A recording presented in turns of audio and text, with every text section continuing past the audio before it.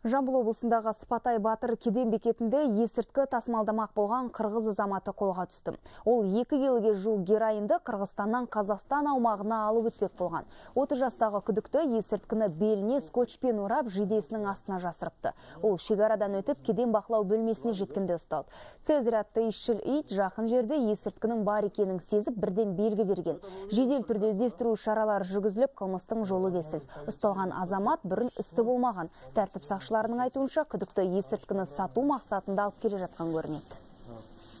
аталған факт бойынша қазақстан республикасы қылмыстық кодексінің 250-259 баптары бойынша қылмыстық іс қозғалып алдын ала тергеу жүргізілу үшін жамбыл облысы бойынша ішкі істер басқармасына жолданды